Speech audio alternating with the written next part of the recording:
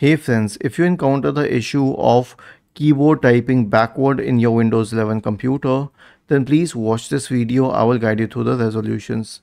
So I found the solution on the Microsoft Answers forum, though it is a it is something that has never worked on my system, but a lot of users are confirming that it has worked, so I'll show you. It says that if you press Control plus right shift it will switch from typing left to right and if you press control plus left shift it will be opposite.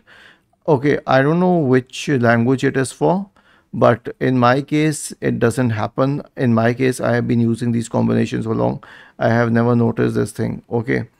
And then right click on the start button and select settings from the menu. Go to the time and language tab on the list on the left hand side and select language and region and make sure that the correct language is selected it could be english united states it could be english uk uh, if you have a doubt with the kind of english that is be used simply change it to english us after this you can update the keyboard drivers. Okay. So search for device manager in the windows search bar and open the device manager window.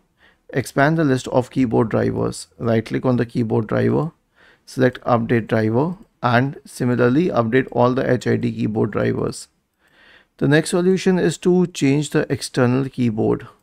How would you change the external keyboard? So if you are using a USB keyboard or a Bluetooth keyboard, simply try connecting to it to a different device to isolate whether the cause is with the keyboard or whether the cause is with the system itself. And if the keyboard is fine, if the issue is with the system, then the next solution will be an SFC scan command prompt search for command prompt in the windows search bar and click on run as administrator and then click on yes and then click type sfc space forward slash scan now and hit enter to invoke the sfc scan.